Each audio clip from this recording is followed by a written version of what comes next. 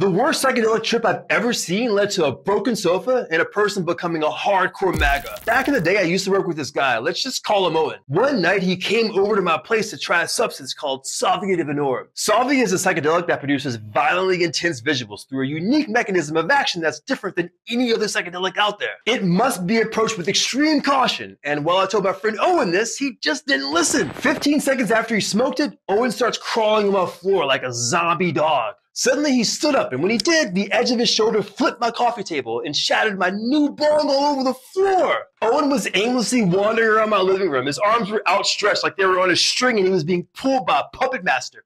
Every step he took, it looked like he was gonna fall over at any time. And then he started walking towards my new big screen TV, and I thought, bro, there's no way you're gonna break my TV too. So I quickly got between him and the TV, and when his hands touched me, he immediately went the other direction like a pinball. But when his legs touched my sofa, he launched directly on the cushion and did an atomic butt drop, cracking my entire sofa in half. Then I heard Owen whispering, Help me, help me. Those whispers turned into loud whimpers. Help me, help me. And those whimpers turned into full blown screams. Help me. I needed to calm him down, but I wanted to give him some space. So I put my arm out so he could have something to touch, thinking maybe that could give him something to connect with in the real world. He grabbed onto it and continued crying for help, tears streaming down his face, snot everywhere. Then Owen popped up and started insisting he had to get out of here.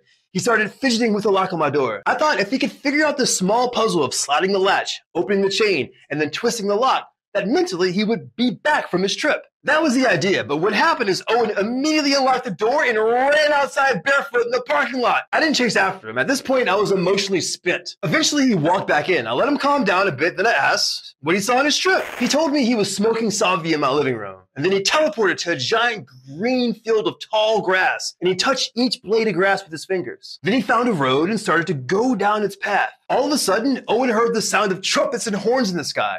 He looked up, and the clouds in the sky parted and he saw God surrounded by all these biblical figures. He took this as it was the end of the world, and as a Christian, Owen just wasn't ready for it. So he freaked out. After Owen's intense salvia trip, he completely changed his life. He left his job, moved to Alabama, became a super devout Christian, and then became a die-hard MAGA Trump guy. And I'm not judging Owen on his life decisions. I'm just telling you that's what happened to him after he smoked salvia. And if you want to hear the entire story, watch the full video on YouTube.